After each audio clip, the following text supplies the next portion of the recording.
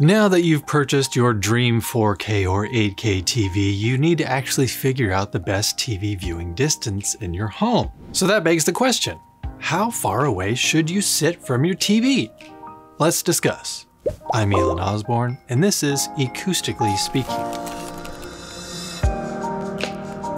It's easy to get caught up in TV specifications and forget that unless your viewing distance is optimal and your vision is 2020, then you won't be able to see the best possible picture after spending all that hard-earned cash. But it might be time to get those calculators on your phone out though, since figuring out the best TV viewing distances in your home requires a little bit of math. It's rather alarming to learn that humans with ideal vision cannot resolve all the details in a 4K TV unless seated within 3 to 5 feet. And that distance corresponds to all screen sizes from 43 to 85 inches diagonally. And it's even closer for 8K TVs since the pixels are even closer together. When viewing a TV at distances greater than 3 to 5 feet though, pixels effectively blend together.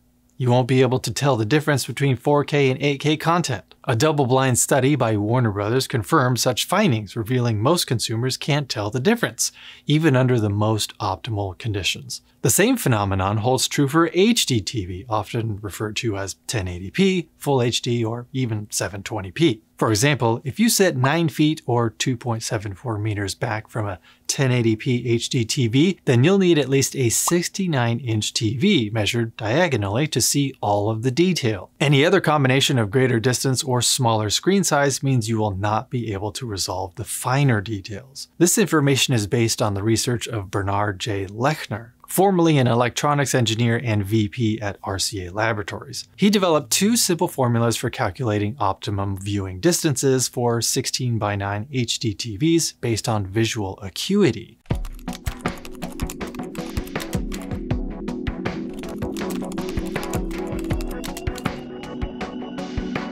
But knowing your TV width is somewhat tricky since all TV sizes are expressed in diagonal measurements, of course. Although you can always just get out your trusty old tape measure or calculate it. For 16 by 9 sets, which are basically every widescreen TV nowadays, width can be calculated from the diagonal screen size as follows.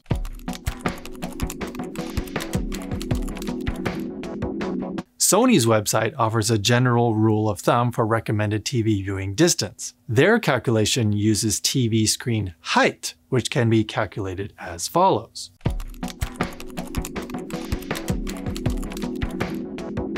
Then multiply height by 1.5 for 4K TVs or 3 for 1080p HD TVs. So using Sony as an example, I happen to have a 77-inch Bravia 8 OLED TV in my office theater. Using the calculations mentioned a minute ago, I can figure out the height by doing 77 times 0.490261239632559.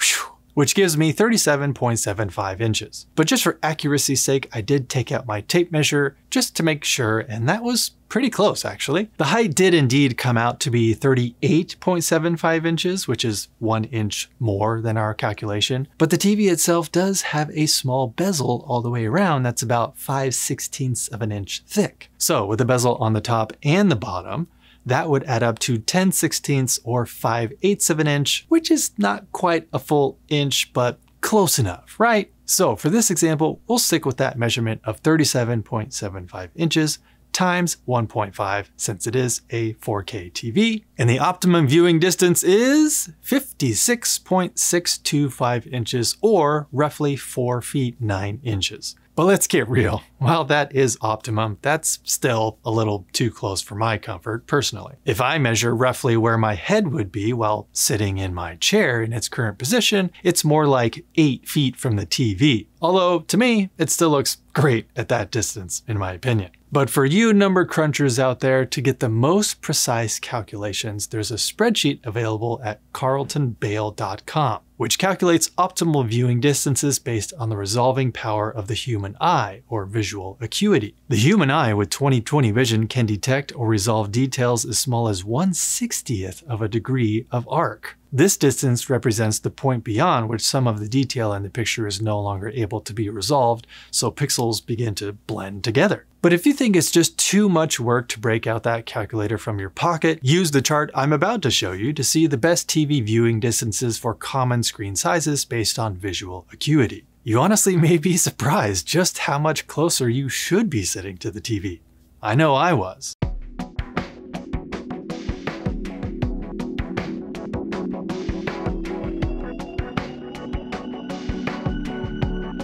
Use those calculations to help you choose between an HD, 4K, or 8K TV so you can see every last detail from your beautiful big screen if you sit in the right spot. With 8K TVs requiring such up-close viewing to actually see a difference, one has to wonder, why would anyone ever buy an 8K TV? Am I right? Our recommendation when it comes to optimum viewing distance simply buy the biggest TV you can afford and place optimally. And like with my case, it's still okay to sit a little further back than what the chart says. But it is interesting that apparently you can safely break the rule mom always told you back in the day about not sitting too close to the TV because as the chart pointed out, no, it won't ruin your eyes. Sorry, mom. And that about wraps up this episode of eCoustically Speaking. So tell us, is your TV already set to the optimal viewing distance? Let us know in the comments below. To keep up on all things TVs, home theater, home audio, hi-fi, gadgets, wearables, and tech, don't forget to bookmark ecoustics.com. Until next time.